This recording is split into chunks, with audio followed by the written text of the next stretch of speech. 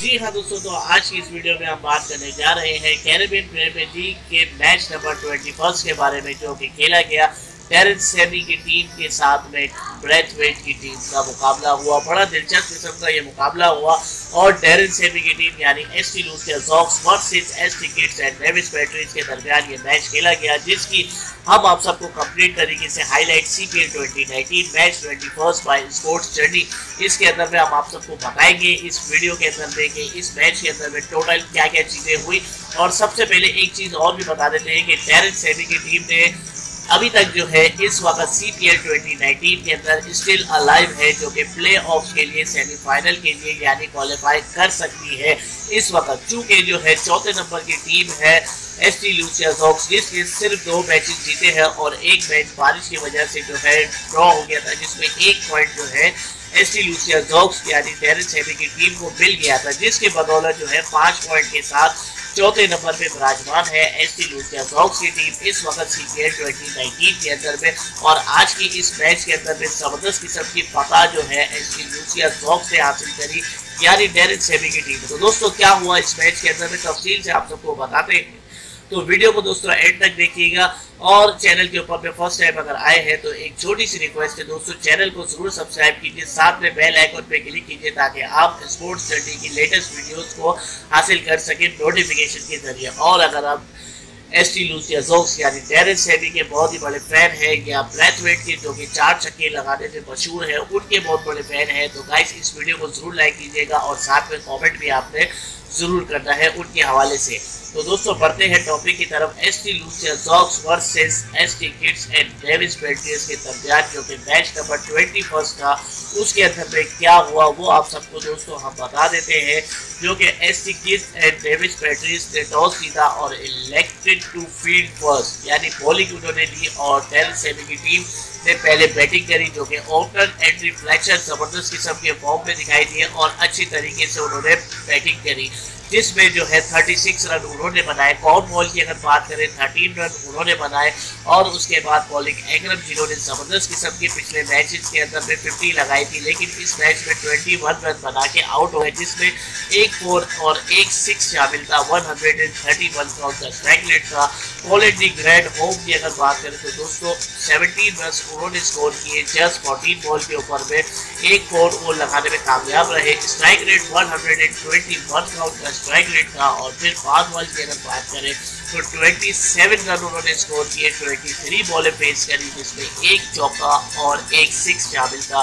117 کا ان کا اسٹرائک ریٹ تھا۔ پھر کپتان ڈیرن سیمی آئے اور طوفانی اننگز کھیلی۔ جسٹ 19 بالز کے اوپر میں 30 رنس انہوں نے بنائے، جس میں 3 فورس اینڈ ون سکس شامل تھا اور اسٹرائک ریٹ کی اگر بات کریں تو پوری اننگز میں ایسا اسٹرائک ریٹ دیکھنے کو نہیں ملا، چونکہ 157 کا ان کا اسٹرائک ریٹ تھا۔ تو اس لحاظ سے جو ہے 20 اوورز کے اندر 8.25 کے رن ریٹ سے 165 کے اوپر میں ایس ٹی لوسیا زوکس کا ٹوٹل ہوا اور جس میں چھ کھلاڑی کے نقصان ان کو اٹھانا پڑا۔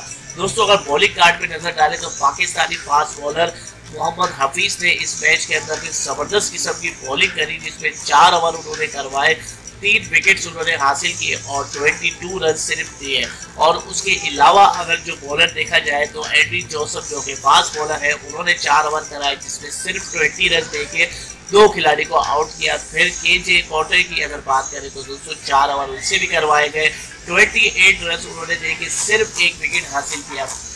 اس کے ساتھ ہی جو ہے، اگر بات کریں دوستو، S T Kitts and Davis Patriots کی ٹیم کی، جو کہ بریتویٹ اس ٹیم کے کیپٹن ہے دو رن بنا کے ہی صرف آؤٹ ہو گئے۔ اس کے بعد اگر بات کریں تو اس ٹیم کے اندر پوٹینشل تو دوستو بہت ہے، مگر اوپنرز اگر فارم میں نہ ہو، اس کے علاوہ اگر محمد حفیظ جیسے بیٹسمین اس ٹیم کے اندر شامل ہو فیبیل ایلن اس ٹیم میں شامل ہے۔ مگر جو ہے، کچھ خاص کرنے میں ناکام رہے 29 رنز محمد حفیظ نے بنائے جس میں صرف ایک سکس شامل تھا۔ 93 کے اسٹرائک ریٹ سے انہوں نے کھیلا۔ پھر اگر بات کریں ایون لوئس کی، جو کہ بہت ہی بڑا نام ہے، اور جب چلتے ہیں تو کیا خوب قسم کی کھیلتے ہیں۔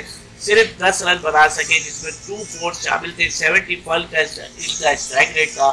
اور اگر ڈی سی ٹامس کی بات کریں تو نائن رن بنا کے وہ آؤٹ ہو گئے۔ سکسٹی نائن کا ان کا اسٹرائک ریٹ تھا۔